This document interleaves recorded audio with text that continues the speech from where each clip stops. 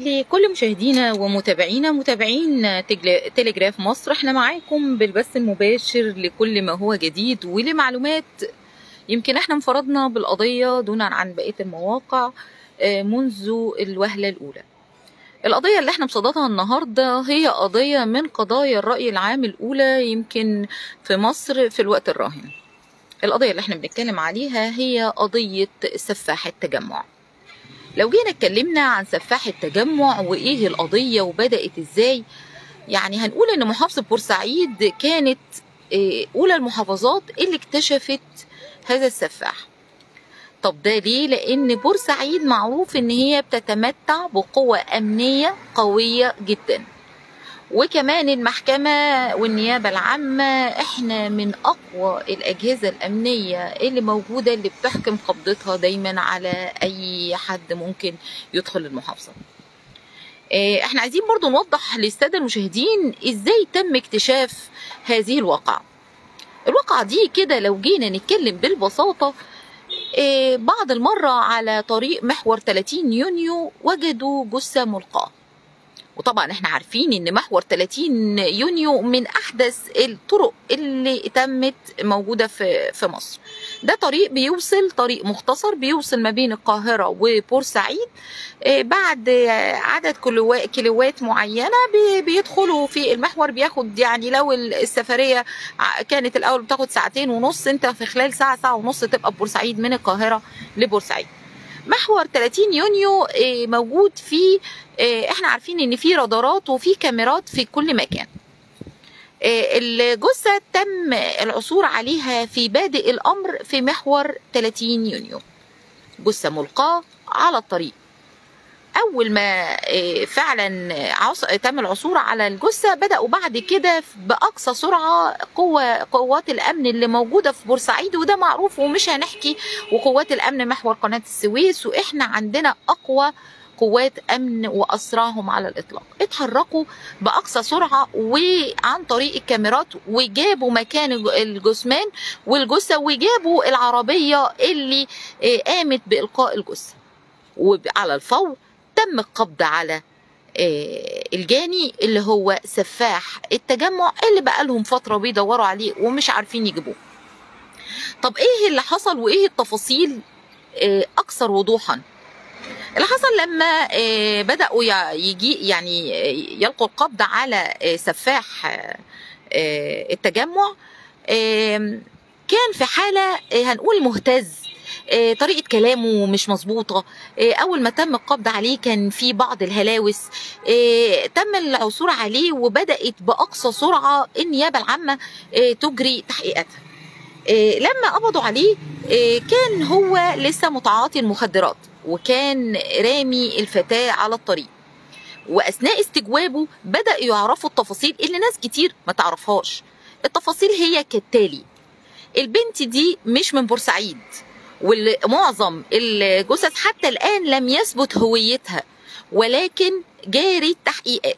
في بعض الجثث هو اعترف بيها لكن الإجمالي إن هم ثلاث جثث غير الجثة الرابعة اللي تم اكتشافها على طريق 30 يونيو.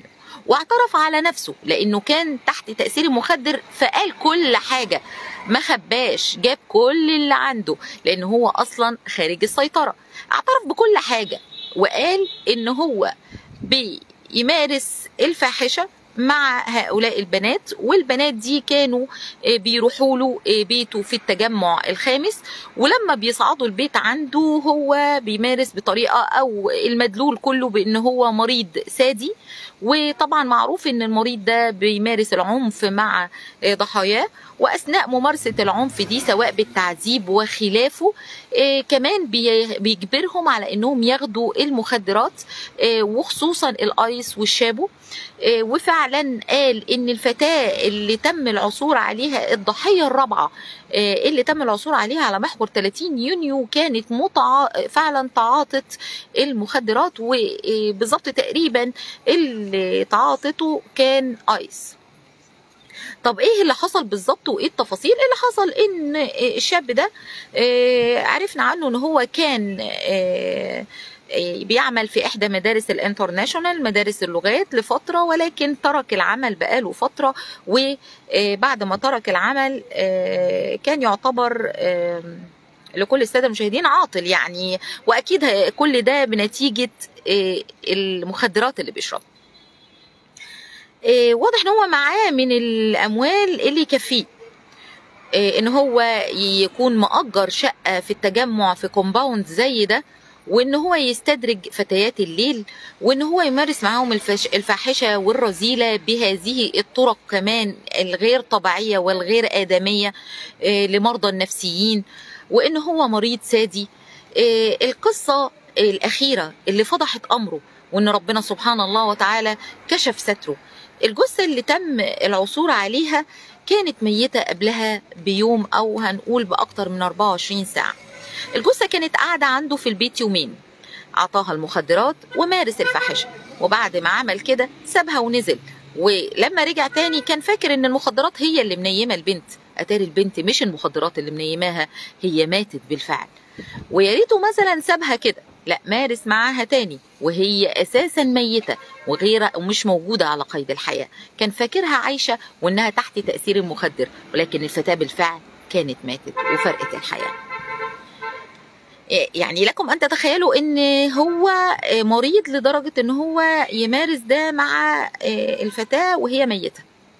وهو مش قادر يعرف هل اللي قدامه دي من كمية المخدرات اللي هو شاربها هل هي عايشة ولا ميتة. ولما اكتشف إنها ميتة حاول يتخلص من جثمان خد البنت في العربية واتحرك على طريق 30 يونيو. واهما طبعا هو تحت تأثير المخدر إنه لما يرمي البنت مش حدش هيكتشف أمره ومش هيفتضح أمره. ولكن إن ربك لبالمرصاد. إن ربك لبالمرصاد. وربنا سبحان الله وتعالى أراد إن أرض الباسلة هي اللي تلقي القبض على مثل هذا المجرم البشع. أراد إن الباسلة ورجال الباسلة وقوات الأمن القوية والقبضة الأمنية القوية الموجودة داخل أرض بورسعيد تكون هي الرادع لمثل هذا الإجرام. تم القبض عليه. الكلام ده واستجوابه والكلام ده تحديدا بدأ كان يوم الثلاث اللي فات أخذ تجديد 15 يوم لحين استكمال التحقيقات وبالفعل امبارح كان بيناظر الجثمان بيناظر بعض الجرائم اللي عملها في القاهرة في التجمع.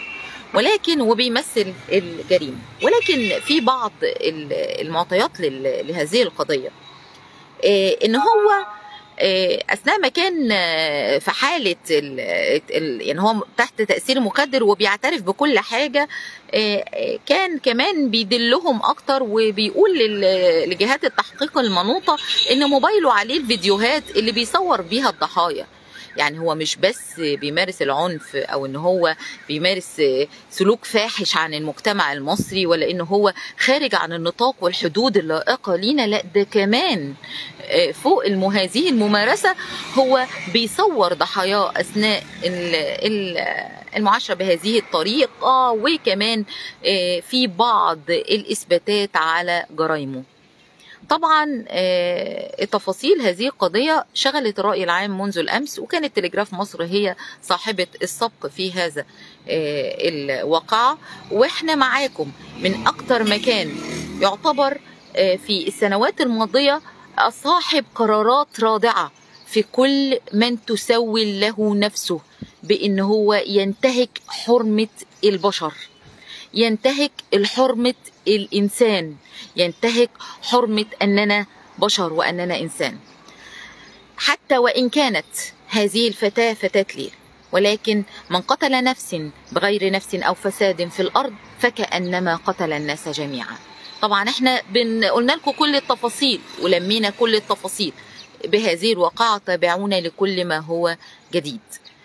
طبعا القضية على قد ما هي أثارت غضب واثارت الرأي العام إلا إن إحنا عارفين كويس قوي إن هذه القضية مش هتاخد كتير في محافظة بورسعيد. أسرع قضاء وأسرع قضايا عادلة هنقول وأحكام عادلة وثقتنا الكاملة في القضاء العادل ولكن ملابسات هذه الواقعة كشفها ربنا سبحانه الله وتعالى على أرض البسلة.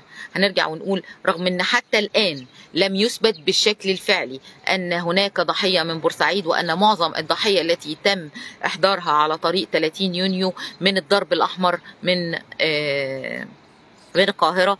ويعني آه، يعني أنا أستحي أن أقول التفاصيل أكتر آه، عشان مسامع المشاهدين ولكن هحاول أن أنا أتحرى الألفاظ اللي تليق بالمشاهدين. أنا بس عايزة أقول لكم أن والدها هو اللي أحضرها للقاتل وأن والدها هو اللي بيشغل بنته هذه المهنة المشينة. مش هندخل في أكتر من كده ولكن آه، تبقى القضية محل آه، هنقول استفهام الجميع وتبقى القضية هي القضية الأولى آه، التي آه، شغلت الرأي العام وأصبحت من القضايا التي يطالب الرأي العام بشدة سرعة البت فيها وسرعة آه، إحضار حق هؤلاء الضحايا. آه، طبعا ما زالت التحقيقات مستمرة لمعرفة باقي الضحايا آه، ال- اللي تم الاعتداء عليهم ولكن تابعونا لكل ما هو جديد. آه، برضو عايزين قبل ما نختم اللقاء معاكم نقول لكم إن كل ما سيحدث آه، سنكون طبعا معاكم أول بأول آه، تابعونا على تليجراف مصر. كنا معكم بالبث المباشر وكانت معكم شيماء الرئيس.